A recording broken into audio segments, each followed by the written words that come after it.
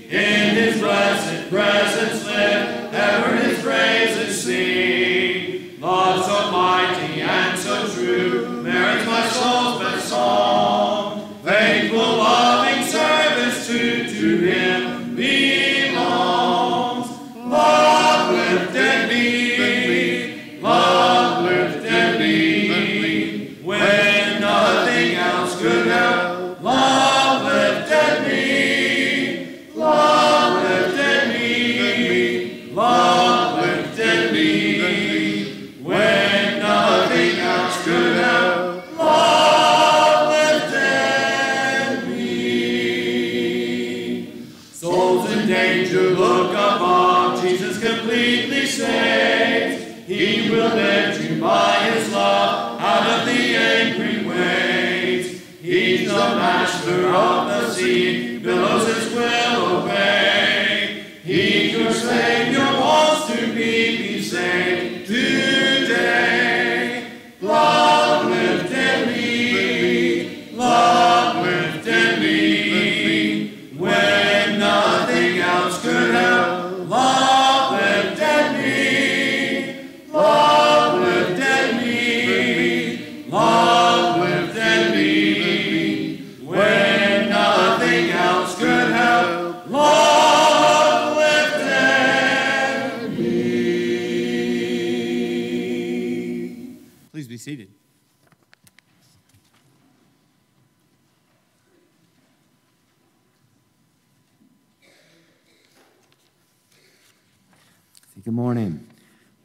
scripture today will be from the book of Luke 18, 35 through 43. Luke 18, 35 through 43. As he drew near to Jericho, a blind man was sitting by the roadside begging, and hearing a crowd going by. He inquired what this meant. And they told him, Jesus of Nazareth is passing by. And he cried out, Jesus, son of David, have mercy on me. And those who were in front rebuked him, telling him to be silent. But he cried out all the more, Son of David, have mercy on me. And Jesus stopped and commanded him to be brought to him. And when he came near, he asked him, What do you want me to do for you? He said, Lord, let me recover my sight. And Jesus said to him, Recover your sight. Your faith has made you well. And immediately he recovered his sight and followed him, glorifying God. And all the people, when they saw it, gave, saw it, gave praise to God.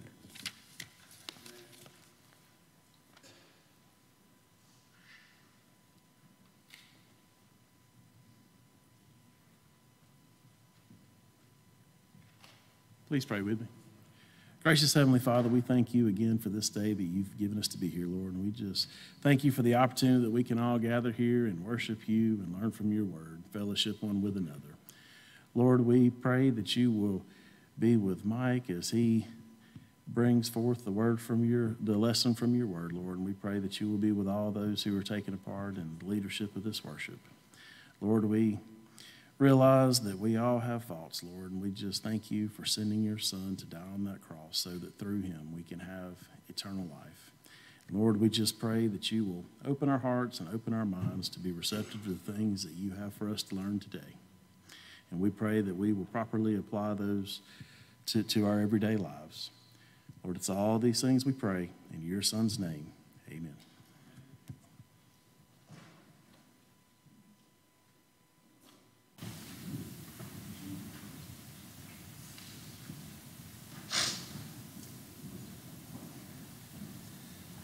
I will sing of the mercies of the Lord forever. I will sing. I will sing. I will sing of the mercies of the Lord forever. I will sing of the mercies of the Lord.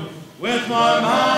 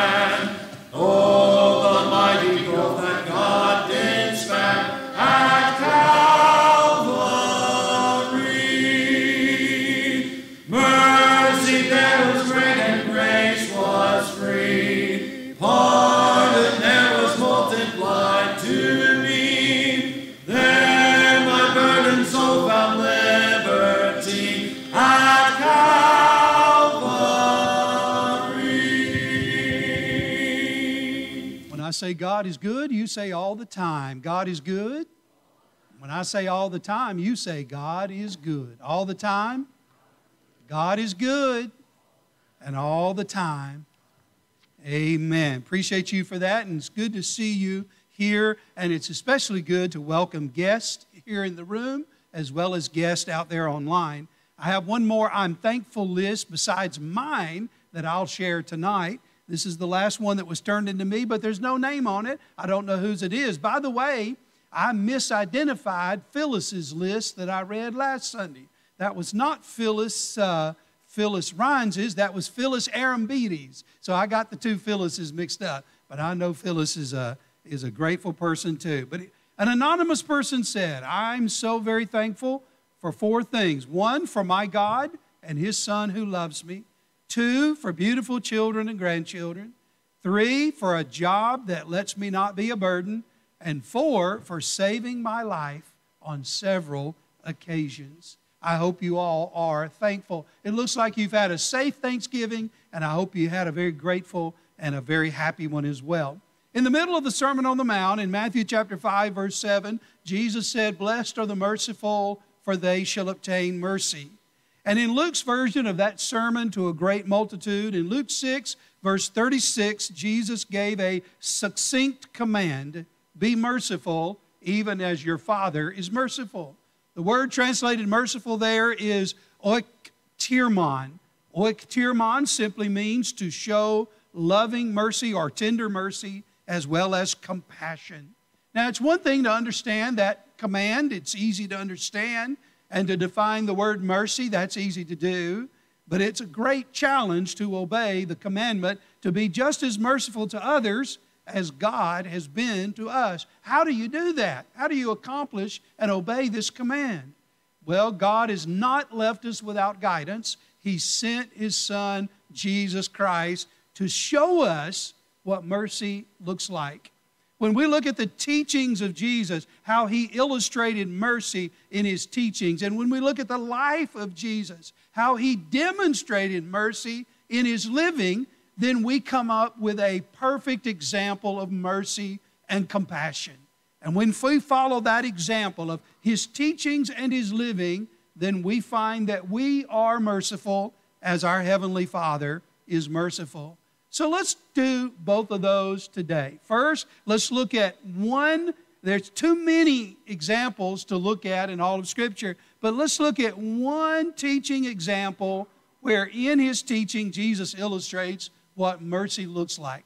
Now, surveys have been done asking people to reflect on the parables of Christ and, and name your favorite parable, or just name any parable. Which one are you most familiar with? And there's a consensus in America as to what number one and number two parables are. Now, number three, that's where the disagreement occurs. Like, number three could be the, the ten virgins, or it could be the parable of the mustard seed. But just about everybody agrees on the most popular and the second most popular parable told by Jesus in his teaching. Would you like to guess what number one is? The parable of the prodigal son. That's number one. But what's number two? The parable of the good Samaritan. There you go. And that's the one I want us to think about. But I do want to point out, isn't it interesting to note that the top two parables of Jesus, the ones that people are more familiar with than any of the others, are both about mercy? The parable of the prodigal son, he wastes everything the father gave him in sinful living and he comes home and asks for forgiveness. And the older brother is discompassionate, but the father shows compassion. He sees him and he's moved with mercy and he runs to meet him and he welcomes him home. The Father shows mercy. That's the Heavenly Father showing us mercy. But I want us to take just a few minutes to look at the parable of the Good Samaritan and how Jesus illustrates what mercy looks like in this Good Samaritan. We're in Luke chapter 10 now, beginning at verse 25. Luke chapter 10, starting at verse 25. There is this lawyer who asks Jesus a question, but he's not looking for the answer, he's testing Jesus. He's putting Jesus to a test. And he tells him a story to help him understand the answer to his questions. And this story is more than just a moral lesson. This story strikes at the heart of our Christian faith. It's about our love for and our response to God and our fellow man. If we've been genuinely renewed by God's mercy, then we will naturally be agents of mercy. If we've tasted mercy, if we have an awareness of how much mercy the Heavenly Father has given us, then we will be agents of God's mercy to other people. That's what this message is all about. So it begins with this lawyer testing Jesus in verse 25. It says, Behold, a lawyer stood up to put Jesus to the test, saying, Teacher, what shall I do to inherit eternal life? And Jesus said, What is written in the law? How do you read it? And the lawyer answered, You shall love the Lord your God with all your heart, and with all your soul, and with all your strength, and with all your mind, and your neighbor as yourself. And Jesus said to him, You've answered correctly. Do this, and you will live. But he, desiring to justify himself, said to Jesus, And who is my neighbor? He knew what the law said, he was educated in his mind. He accurately quoted from Deuteronomy, Love the Lord your God with all your heart, soul, strength, and might. He accurately cited Leviticus, which says, Love your neighbor as yourself. He had the commands in his mind, but he didn't have mercy in his heart. He evidently was like all the other elitist Jewish leadership who so narrowly defined the word neighbor that they made it easy to obey the command to love your neighbor as yourself. They defined neighbor as a fellow Jew someone who looks like me, lives like me, believes like me, not just any Jew, but a Jew that's just like me, someone who's easy to love. And certainly, Gentiles, and the worst Gentile of all in a Jew's mind, a Samaritan Gentile. Certainly, Samaritans are outside the definition of neighbor because God wouldn't expect me to do something as hard as loving Gentile, dirty Samaritans. And so he asked Jesus, But who's my neighbor? And Jesus answered the question by telling the story. And you know the story. When this hurt man was beaten and robbed and left on the side of the road to die, a Jewish man, the elitist Jews, the priest and the Levite, they didn't act like he was their neighbor. Even though he was in their definition of neighbor, he was a Jewish hurt man, but they passed by on the other side and had no compassion. But then a Samaritan comes down the road and he's outside their definition of neighbor. But he sees him, and, and verse 33 says, when he saw him, he had compassion. Do you see that word in verse 33? He had compassion, he had mercy. And so Jesus asked the question Who was neighbor in this story? Isn't Jesus a masterful teacher? He put this lawyer to the test. He's testing Jesus, and Jesus turns the test back on him. You tell me who was neighbor. And he forced him to give the answer in verse 37 the one who showed mercy. See that word in verse 37? The one who showed mercy. And so he forces him to admit that Samaritans are included in the definition of neighbor. And so Jesus says in verse 37, You go and do likewise. Jesus changes the question from who is my neighbor to am I neighborly? That's where the focus is am I neighbor? And he points out by telling this story, by illustrating mercy in this teaching parable, he points out that the unmerciful are the ones who haven't experienced mercy or they don't have an awareness of their experience of mercy. I've found that the more aware I keep myself of how much God has forgiven me and how much mercy He's shown me and how much He's blessed me, the more humble I am and the more grateful I am and the more merciful and compassionate I am to others. When I forget how merciful God's been to me, that's when I find myself with an ugly attitude of judgmentalism and unkindness and a lack of compassion. When I keep myself cognizant of how much mercy I've received, it makes me more merciful and compassionate to other people. And the Jewish elites didn't think they had been forgiven of their sins, they didn't think they had any sins to be forgiven of.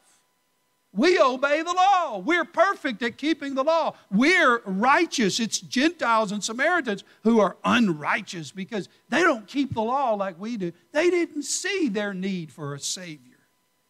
The Jewish elites didn't see their need for mercy and compassion. They didn't feel like they had been shown any mercy, they didn't feel like they needed it. And so they didn't have much mercy and compassion for other people. The premium commands, the prime commands, the greatest commands love God, love your neighbor. And by telling this wonderful story, Jesus teaches that we cannot love God and be unmerciful to children that He created in His own image. And that we cannot love our neighbors and be unmerciful to them. Now let's consider an example out of all the many examples of how Jesus practiced what He preached how he was the perfect embodiment of his teachings on mercy. He didn't wait till he got to the cross to demonstrate mercy. Jesus demonstrated mercy in his everyday life throughout all of his public ministry. He's passing in Luke chapter 18. We're at Luke chapter 18 now. I hope you'll go there with me. Luke chapter 18, verses 35 to 43. And I want to point out a few things that Jeff read a moment ago. Jesus is passing through Jericho on the way to Jerusalem to die. He knows this is his last trip to Jerusalem. He knows what awaits him there. It's a death on a Roman cross. And at a time where he needs encouraging and lifting up, he takes time to encourage and help a blind man. Now, Matthew's account tells us that there were two blind beggars, and Mark names one of them Bartimaeus. So we can only assume that the one here in Luke talking to Jesus is Bartimaeus, but that's just an assumption. But whoever he is, this blind man hears a commotion and he, he inquires. He, he's, he's, he's talking to people around. What's going on? I hear this commotion. What's going on? I, I can't see, but I can hear. And the crowd tells him, Well, Jesus of Nazareth. Do you see that in verse 37? Look at the word Nazareth in verse 37. The crowd tells the blind man, Jesus of Nazareth is passing by. And so in verse 38, this blind man cries out, Jesus, and he doesn't call him Jesus of Nazareth. What does he call him? He says, Jesus, son of David, have mercy. And the crowd, I guess, is embarrassed by this guy yelling out. And they say, Hush, man, be quiet, hold your tongue. But he won't listen to the crowd he cries out, verse 39, all the more, Jesus, son of David, have mercy on me. And then I want you to notice what Jesus does in verse 40. It says, Jesus, what does it say? He stopped. He stopped. I can preach a whole sermon on that, those two words. Jesus stopped. Because he took time out of his busy schedule and the agenda that he has in Jerusalem, he takes time out from that and he stops to give attention to one man. Amongst a huge crowd of people, Jesus is aware of one and the needs of the one. Because Jesus is attuned, Jesus is aware, and he stops. And he says, You bring that man to me. There were people in front of that man separating him from Jesus, not helping him get to Jesus, but impeding his attempt to get to Jesus. And Jesus stops and says, You bring that man to me. And then he asks him, How can I help you, sir? How can I serve you today? What do you need? What do you ask of me? And he says, That I might recover my sight. And look at verse 42. Jesus says, Recover your sight. Your what does it say in verse 42? Your blank has made you well. Your faith, your faith has made you well. And immediately he, be, he became sighted. He went from blindness to sightedness. Immediately he could see. And so he becomes a follower of Jesus and he glorifies God, he praises God, and all the crowd follows his lead in praising God. His faith made him well. How had he demonstrated faith that made him well?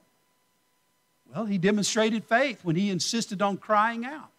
When the crowd told him to hush, he kept crying out to Jesus. He kept trying to get through the crowd to where Jesus was. And he demonstrated faith in how he addressed Jesus Jesus, son of David. Do you know that that's messianic in nature?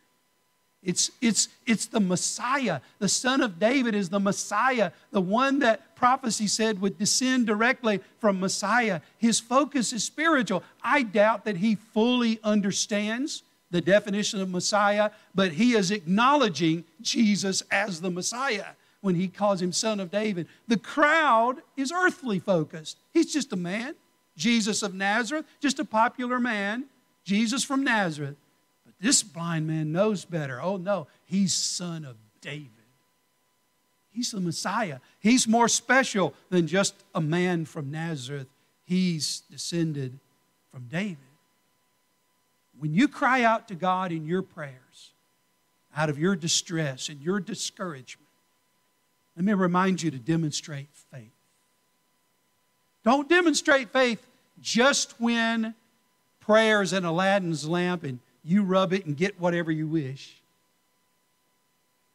But demonstrate faith in God even when you don't get your prayers answered like you want them answered right then, right there.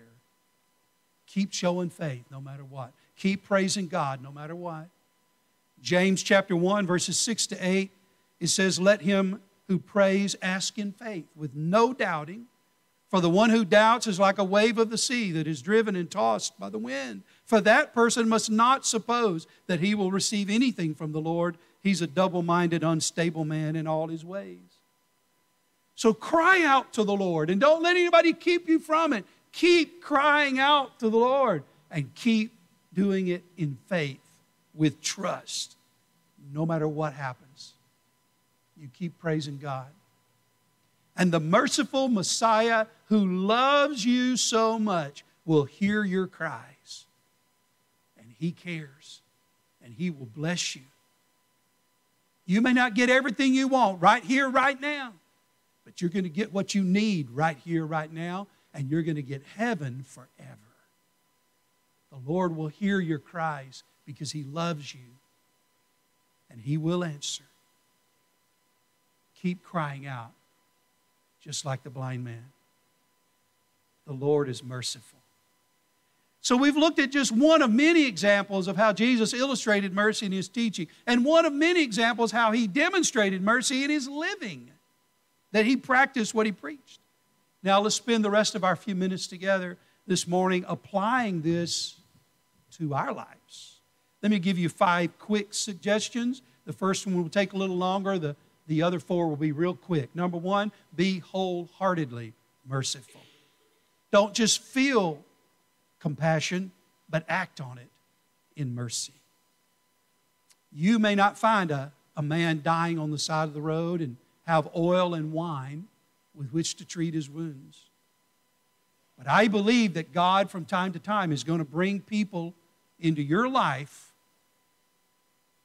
who have been beaten down by life and who've been robbed of their hope. And you've got some oil and wine.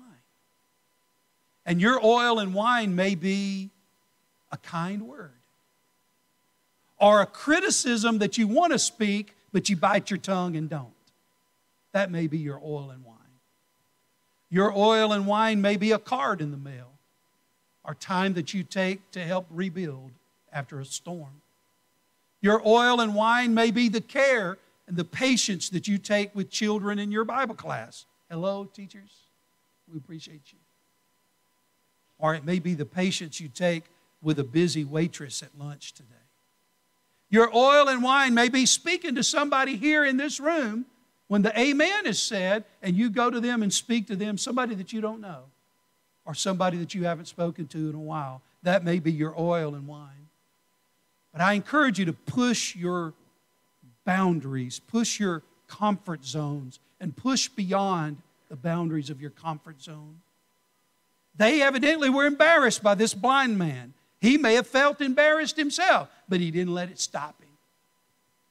And we have this tendency as humans to be as comfortable as possible. Every situation, we try to make ourselves as comfortable as possible.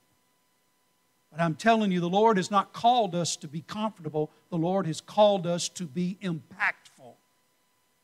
And I think you'll find if you'll try it consistently enough and often enough, I think you'll discover that you have more impact in people's lives when you push beyond your comfort zones. You'll have far less impact on others if you keep yourself within the safe, warm, comfortable boundaries of your comfort zone. Step outside that. This blind man didn't let the crowd squelch him or sequester him. He pushed beyond the embarrassment and did what he needed to do. God's greatest blessings for you may lie just on the other side of the boundary of your comfort zone. So let me encourage you be wholeheartedly merciful. And then number 2, be unconditionally merciful. Galatians 6:10 says we have opportunity, let us do good to everyone, especially to the household of faith, our church family, yeah, but also do good to everyone as we have opportunity. And everyone means everyone. Without trying to define neighbor as including only people that I'm comfortable with. And I push beyond that definition and understand that neighbor means everybody. And I must love my neighbor as myself. Number three, be proactively merciful. Do you remember another time when there was a crowd keeping a man from getting to Jesus? This man was a paralytic, but he had four friends that found a way to get around the crowd and up on the rooftop of the house where Jesus was teaching, surrounded by a crowd. And they tore a hole in the roof and they let that paralyzed man down through the roof. And Jesus healed him. And he commented those four, he praised those, com, those four men and complimented them also for helping. Why couldn't the crowd have done that with Bartimaeus? Instead of continuing to be a barrier between him and Jesus, instead of telling him to hush, why didn't they part the way and escort him to Jesus? Why weren't they proactive in their mercy, like the four friends of the paralytic? Number four, be sacrificially merciful. Remember Cain and Abel? They offered sacrifices to God. God accepted one and rejected the other. Is it just because one was an animal sacrifice and the other was grain? You know, later on in the law of Moses, God accepted vegetable offerings. I suspect that there was more to it than that, and maybe it also was about their hearts. And one had the heart of worship, and the other one didn't, as well as obedience. But the priest and the Levite passed by on the other side of the road, they offered sacrifices all the time. They'd probably offered hundreds, thousands of sacrifices. But they didn't have mercy. The Good Samaritan sacrificed. I don't know how wealthy he was, but if he was just a common person, he actually sacrificed quite a bit. He sacrificed his oil and wine. He let the hurt man ride on his animal while the Good Samaritan had to walk. And then he gave the innkeeper two denarii, which is, which is 24 hours of labor for a common laborer to get two denarii to pay for the man's care at the end, with the offer to come back and pay more if there was more that needed to be paid. He made a lot of sacrifice to help this man sacrifice of time and labor and resources. Sometimes mercy takes sacrifice. Look at how much mercy God has given us. Look at how much sacrifice God and His Son have made for you and me. If we're to be merciful as the Father is mercy, it's going to require some sacrifice. And then, number five, remember this merciful hearts bring praise to God. Now, we don't know if the Jewish man that the Good Samaritan helped gave praise to God or not. Y'all remember the Jeffersons moving on up? Remember George Jefferson? Remember him strutting around? My favorite episode of the Jeffersons is is when George encountered a member of the Ku Klux Klan. Y'all remember that episode? And that man spit venom and hate at George Jefferson. And then later in the episode, that Ku Klux Klan guy, that white guy, had a heart attack. And George saved his life administering CPR, which included mouth to mouth resuscitation. When the paramedics were rolling him out on the stretcher he said, What's that black man doing here? The paramedics informed him, Sir, this man saved your life. He gave you CPR till we got here. He said, He put his black lips on mine. He said, You should have let me die. It was a powerful episode. Isn't that sad that people have that kind of hate? That kind of animosity? Just because somebody is a different race. Well, that's how the Jewish elite thought about Samaritans. In fact, that probably doesn't even just barely approximate how much Jewish people despised and hated Samaritans. If you study the history of those race relations, it was bitter. So we don't know how the Jewish man responded to the mercy the Good Samaritan showed him. It might have been like that, that guy in that episode of the Jeffersons, or he might have praised God and given thanks for him. I, we don't know. But we know the response to the blind man. He praised God. And all of the audience joined in. He influenced the others to praise God and show gratitude. Merciful hearts bring praise to God. And unmerciful hearts continue in their hate even when they've been shown so much mercy. They don't know how to be appreciative of it. John 13 35, Jesus said, Herein shall all men know that you're my disciples if, everybody say if, if you have love one for another. People notice a church that loves each other. Regardless of race or regardless of anything else that separates them and divides them and makes them different, when a church loves one another, the world notices. Arleen Spenceley wrote an article for the Tampa Bay Times. And it was published in their social media outlets uh, as well as the paper. And the article was titled, Why I'm a Virgin at 26. And I read that article, and she didn't judge anybody or disparage. She was just giving reasons why she had decided to remain a virgin until she got married. Well, the response was so much hate and venom and vulgar, vulgar hate thrown at this woman that they had to shut down the website and Twitter and delete those comments and, and take the ability to comment. Why are some people like that? She wasn't judging them, but they felt judged.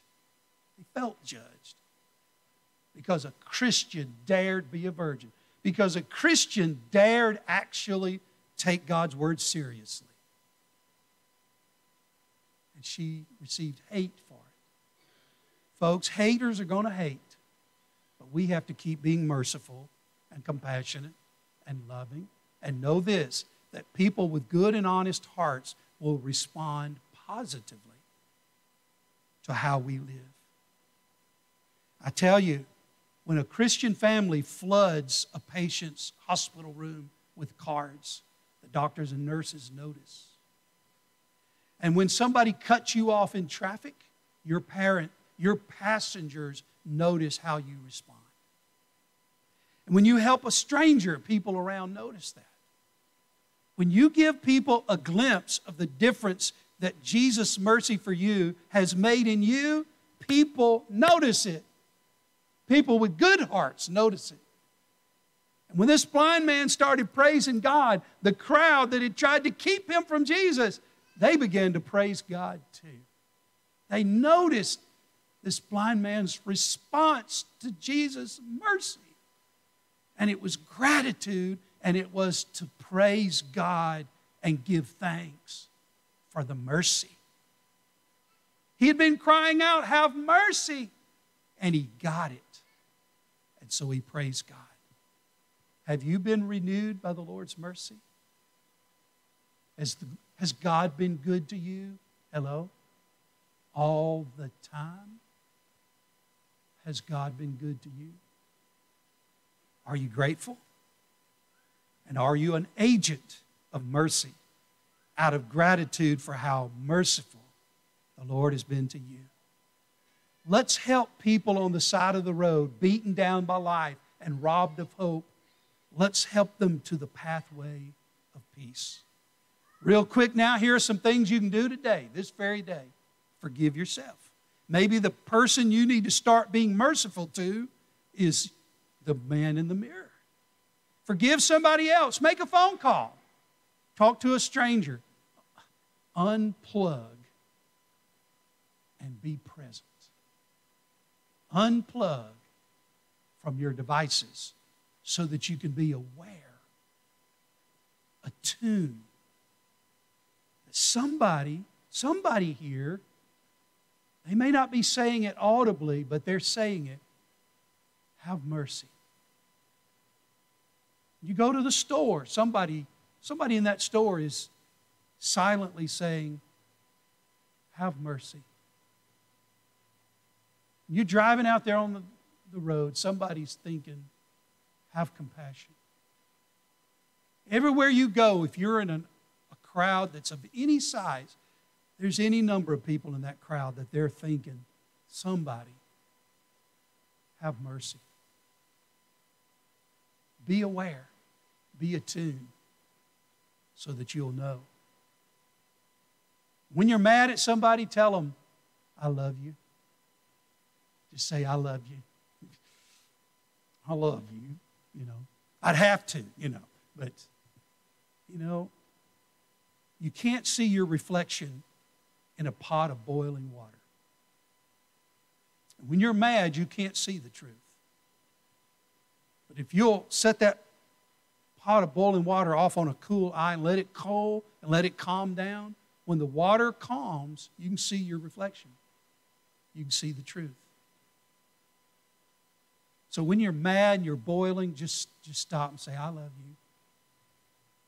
Say, I love you. The people that are closest to you are the ones that make you the angriest because you care more. So you get mad easier but you're in a committed relationship with those people. So, so tell them, I love you. Be merciful. Be kind on purpose.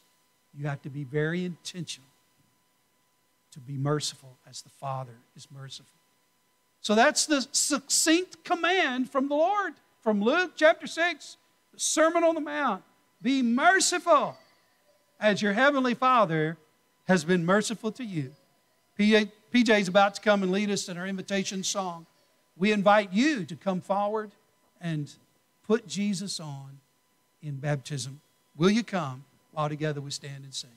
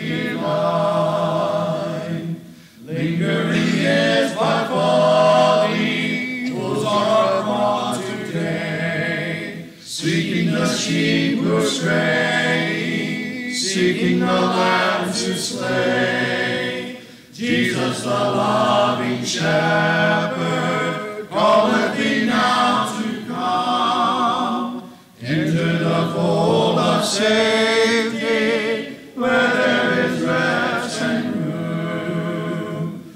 Lovingly, tenderly calling is he, wanderer, wanderer, come unto me. Patiently waiting there, standing I see Jesus my shepherd divine. Please be seated. Is there anyone here this morning that did not receive a communion cup and needs one at this time? If you would raise your hand and one will be brought to you. All right. To help prepare our minds for the Lord's Supper this morning, we're going to be singing And Can It Be?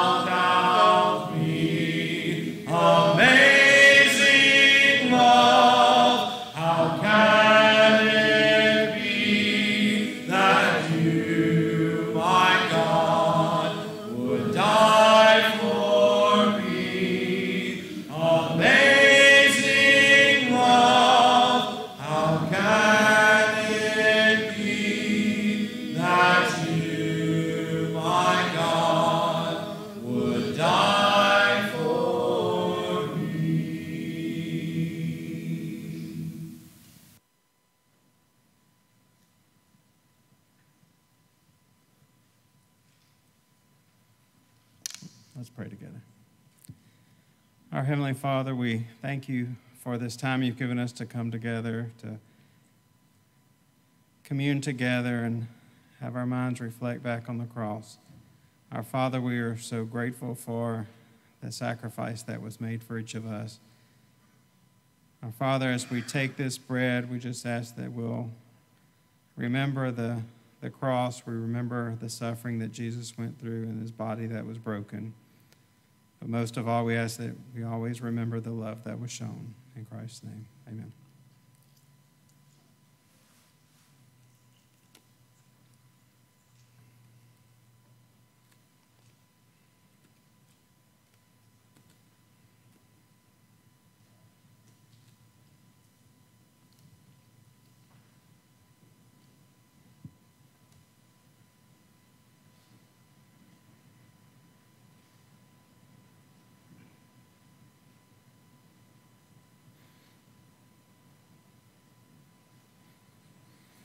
Our Father, as we continue to commune together, as we continue to reflect on the cross, we think about the blood that flowed down Jesus' body as he hung on the cross. We think about the, those who laughed at him, those who beat him. We think about the love that he showed to each of us. And as we take this cup, we just ask that we do so in a pleasing manner. In Christ's name, amen.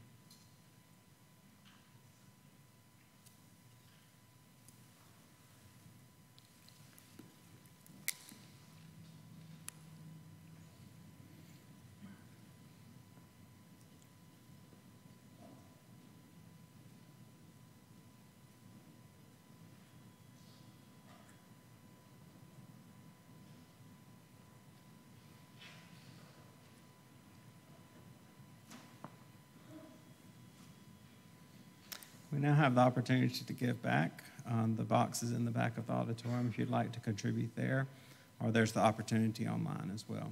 Let's pray.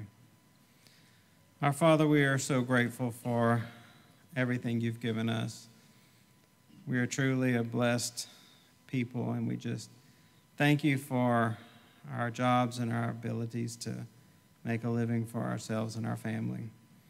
Our Father, we are thankful for the congregation and the generous hearts here, and we are thankful for the work that's done, and we just ask that you continue to grow that work, that, that we continue to reach those of this area. We ask that you bless the contribution that's given and that the money is used to your glory. In Christ's name, amen.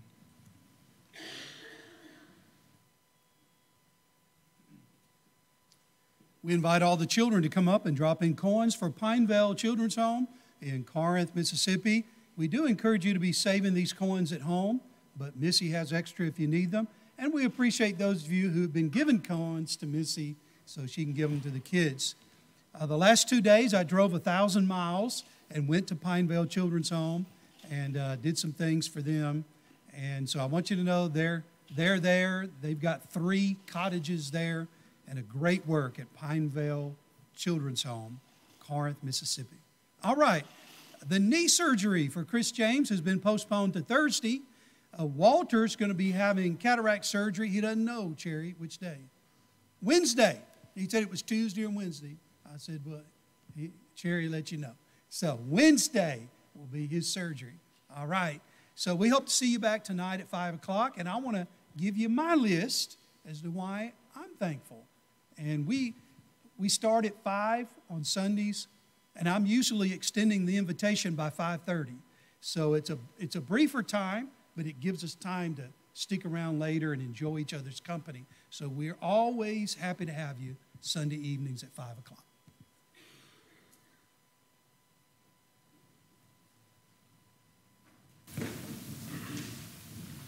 If you would, please stand for our closing song and for the closing prayer to follow. I stand amazed in the presence of Jesus Nazarene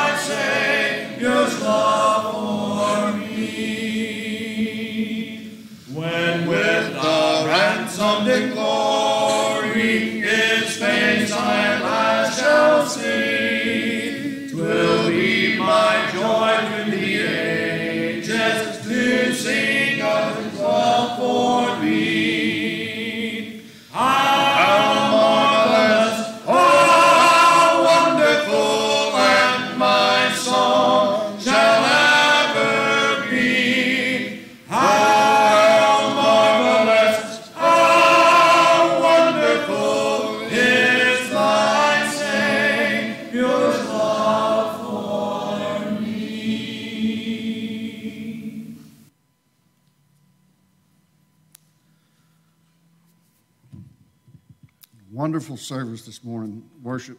Uh, so thankful to Brother Mike for his lesson this morning. It's uh, a message I like to share often about uh, the compassion.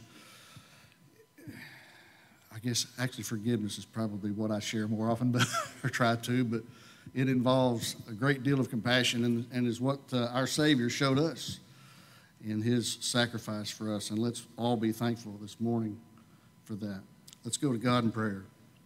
Our Heavenly Father, today, wonderful opportunity we've had to come to sing praises to you and to hear a lesson from your word and to meet around your table and commune with you this morning. We're so thankful that Brother Mike uh, uh, delivered these words to us this morning. We ask uh, that you would help each of us to, when we speak of when we think on and we share uh, our thoughts with others, that we are careful, careful to put your son in his rightful place, and that the son of David, that we would refer to him as such, and, and that we would revere him the way we ought, and uh, not to take uh, how we describe Jesus in a, a, a light manner, that we would always be careful to revere him and and his place. We're so thankful to you, Lord, for the sacrifice that you offered up for us. We cannot imagine the compassion, the love that Jesus had for us to do such a thing, that he would suffer as he did for us. All that we might have the opportunity of an eternity in heaven with you.